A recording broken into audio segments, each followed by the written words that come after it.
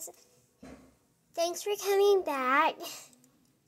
Um, if you're new here, make sure to click that subscribe button, turn notifications, and give me a huge thumbs up. So, I don't know if you guys know that I have a turtle. We found it like a while ago in April. But uh, you can't really see it. It's, it's a baby right there. It's a tiny baby. It's really cute. It's right there. This is the little cage. It's for a tiny little turtle. It's really cute. So, yeah, it is cute. So, yeah.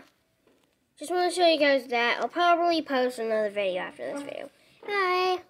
Thanks for watching, I guess.